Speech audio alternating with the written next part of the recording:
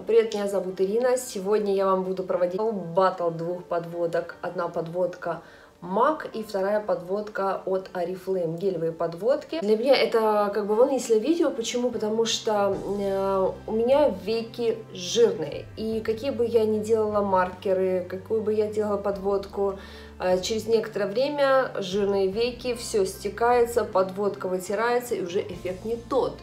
И когда я для себя нашла подводку MAC, в Oriflame подобных гелевых не было. Стрелки это тренд. Любой макияж, любой взгляд, абсолютно любой девушки, они идут. Но главное научиться их делать так, чтобы они были ровными. Они всегда подчеркивают глаза, они делают макияж глаза открытыми. Просто нужно научиться их делать. И тут есть кое-какие нюансы. Во-первых, какая кисточка, что за продукт, Продукт должен быть устойчивый, не растекаться, не размазаться. Сейчас многие компании работают над формулами, которые будут мега устойчивыми и крутыми.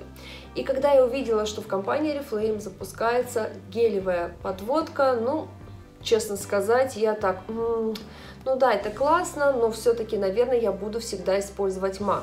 Конечно же, вы сами понимаете, что да, я фанат Oriflame, но бывают такие продукты, которых просто в компании нет, или они дороже намного. Например, а, подводка MAC стоит 1300 рублей и здесь 3 грамма, продукт подводка Oriflame 500 рублей со скидкой, и этого продукта 4,5 грамма. То есть, если взять одинаковый вес, а, MAC стоил бы в районе 2000 рублей.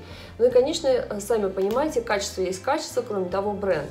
А, для меня было как-то волнительно сравнить эти продукты, посмотреть, как они играют, насколько а, устойчивой будет MAC или Oriflame подводка, как они себя поведут. Итак, давайте сравнивать. Я уже сделала макияж, используя два оттенка теней новинки. Матирующая помада Giordani Gold. Для чистоты эксперимента эту сторону я накрашу подводкой MAC, другую Oriflame. И мы сравним, также потом будет тест на стойкость. Продукта нужно совершенно немножечко. Прежде всего мы начинаем рисовать стрелку. Вот видите, вот у нас идет линия. Ее рисуем, протягиваем вверх. Смотрите, здесь складочка и буквально делаем 3 миллиметра. То есть это наша первая линия. Раз. Дальше параллельно ей, если хотите потоньше, то тоньше параллельно. Если пошире, то еще одну делайте параллельно и закрашиваете соединяйте и потом потихонечку поднимайтесь вверх, вверх, вверх и прокрашиваете вот эту сторону.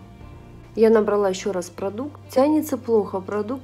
Я бы не сказала, что он у меня засох. Я собираю его так, чтобы мне набралось нужное количество продукта. И только после этого продолжаю.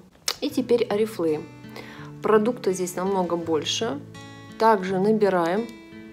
Он новый и приятно скользит, прям легкость такая скольжение идет. Обязательно закрываем сразу крышечкой, либо переворачиваем на поверхность. Лучше закрыли крышечкой и рисуем вверх.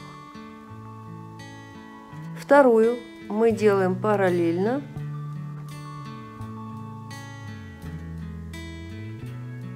И дальше нам остается заштриховать. Переходим на все веко.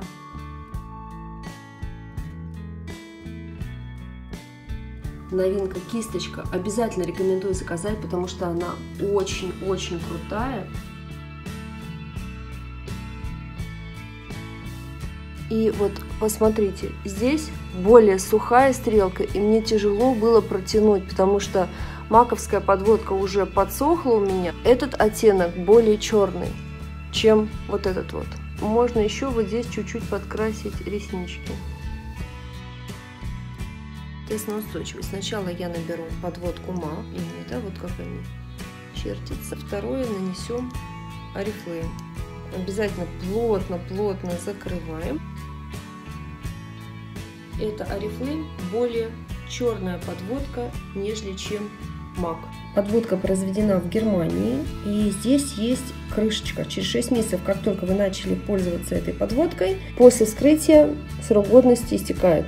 У MAC отдушка гуаши. В Oriflame есть какая-то легкая парфюмерная приятная отдушка. Проверка на влагостойкость. Это обычная вода.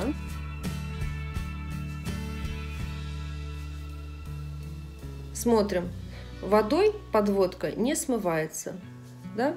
Что одна, что вторая. На устойчивость. Наше очищающее средство на Novage. Берем немножечко, капельку. И посмотрим, как будет работать подводка.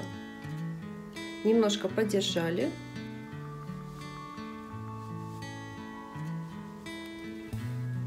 Посмотрите, смываются, мне кажется, одинаково.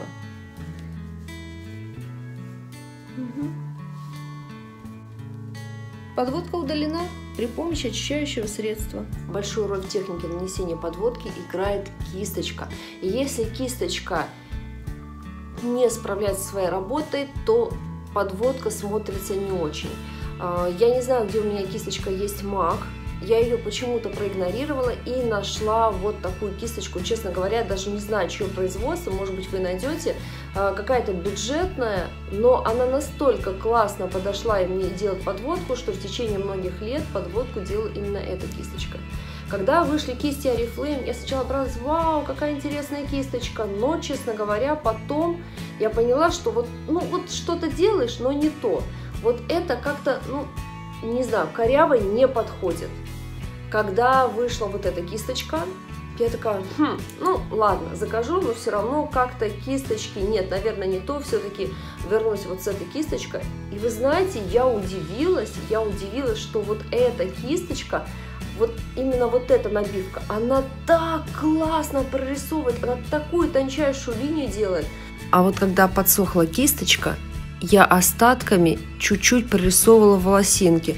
Кстати, когда я пробовала этот продукт, я его делала при вас Первое тестирование было в Инстаграме, и я сейчас буду часто в Инстаграме выкладывать все новинки, все обзоры для того, чтобы... Потому что пока это обработаешь ролик, пока его выложишь в нужный день, в четверг. Девчонки, я в восторге, я в реальном восторге, что наконец-таки в Oriflame очень крутая подводка, которая может поспорить с MAC. И по цветопередаче гораздо лучше. Как вы видели, тест по поводу устойчивости. Если вам видео было полезным, ставьте лайк, подписывайтесь на канал и не пропускайте мое следующее видео, где я буду разбирать очередную новинку от Oriflame. Успехов вам! Пока-пока!